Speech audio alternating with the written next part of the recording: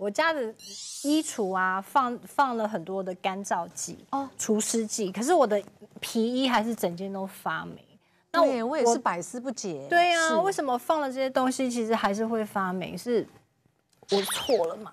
啊？那你怎么除呢？那你你直接送洗吗？或者这些有些皮包有一些我会用一些油的东西稍微去擦它。对油哦油油就是除霉的那种我专用我很了解，我会直接用那个擦皮肤的保养油。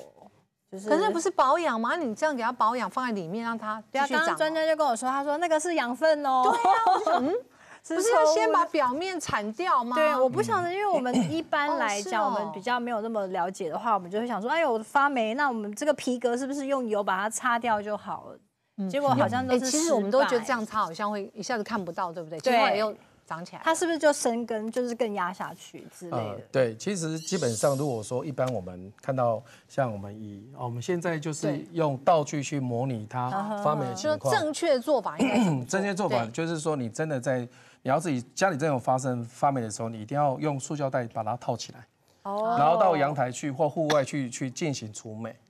要戴口罩要戴口罩，因为我刚才有讲过，就是说，如果你没戴口罩，你这样清的这些包子是数十万的包子，你是你就是会跟它对散开。散开，然后你慢慢的把它吸到你的体内里面去啊，。如果说这时候免疫力不好，那就很惨哦，对不对？对对对，会觉得不舒服都有可能性这样。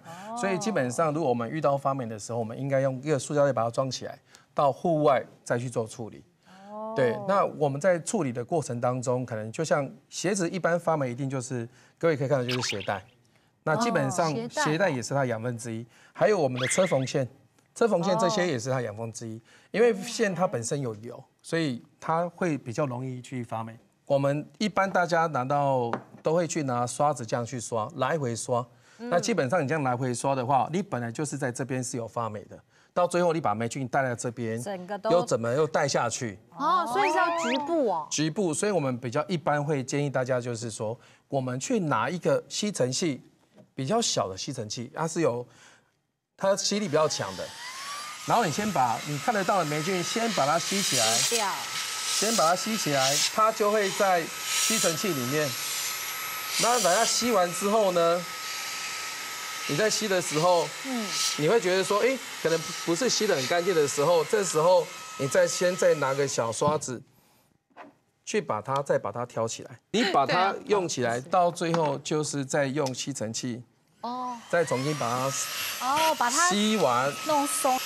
你把它吸完之后呢，你也觉得说，哎，其实 OK 之后，这时候好。你再去拿一个袋子。好那袋子的话，我们不要拿一般的色袋，我们最好都是拿透明的，或者是能够有光可以照进去的。链袋可以吗？呃，夹链袋可以的，好，就看得到的就对了。看得到。然后你完之后呢，市面上有在卖一些挂卡或者是什么东西，有防美的，你就把它就像这样子把它丢进去，哦，封起来就可以了。